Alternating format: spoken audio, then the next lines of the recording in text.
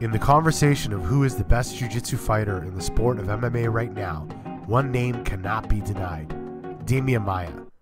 Maia's record in mixed martial arts is not just so impressive due to the amount of submissions he has had, but for the adaptations he has made as a high level grappler and submission fighter, showing that he is now a true mixed martial artist that can compete with the sports elite and now implementing a much improved wrestling and striking game.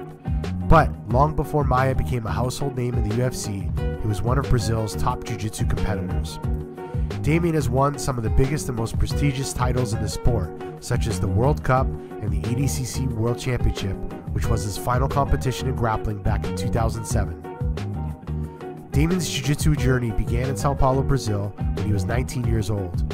Maia had dabbled in other martial arts as a child, first began training jiu-jitsu with Fabio Araujo, and then eventually the General of Alliance, Fabio Gurgel. Gurgel was not only regarded as one of the sport's greatest, but also led a powerhouse competition team that included Leo Vieira, Fernando Tereré, and Marcelo Garcia. Training full time with Fabio's team in Sao Paulo, Maia won the World Championships at Purple and Brown Belt and went on to make his MMA debut in Venezuela in the year 2001. After graduating to black belt under Gurgel in less than five years, Demian became one of the team's top competitors, competing and winning in many of Brazil's major competitions at the time. But unfortunately, in the year 2002, Demian was in the center of a controversial split with the team, as he, as well as teammates Rodrigo Comprido, Fernando Tereré, and the Vieira brothers, disregarded orders from their team leaders and competed in events that were not approved at the time. The disobedience saw Maia and his teammates expelled from the Alliance team, which led them to move on and create a new team called Master Jiu Jitsu. Under the Master Jiu Jitsu flag, Maia and his friends and teammates sent shockwaves throughout the Jiu Jitsu world as the team grew in popularity through the results in international events such as the ADCC World Championship.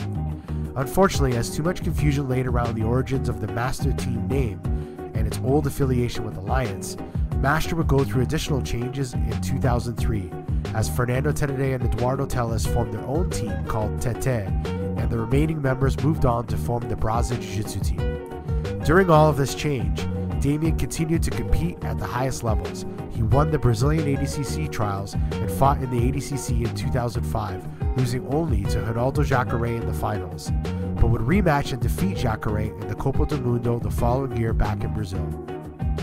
As Demian continued to train and evolve his techniques, he began to create a very well rounded top heavy game that would be the base of his eventual foundation for mixed martial arts. Demian's game was simple wrestling from the stand up, smooth and strategic passing, always looking for positional dominance to get a submission. Demian has been quoted in saying that he has always tried to create a jiu-jitsu style that would be adaptable for the gi, no-gi, and MMA, and I think it's safe to say he did just that. In 2007, Demian returned to the ADCC World Championship and won his division in impressive style, defeating MMA fighter Yushin Okami, American Jiu Jitsu standout Rafael Lovato Jr., former Alliance teammate Tarsis Humphreys, and then eventually Flavio Almeida in the finals. Immediately following his win at ADCC, news broke that Maia had signed to the UFC, the premier MMA organization in the world.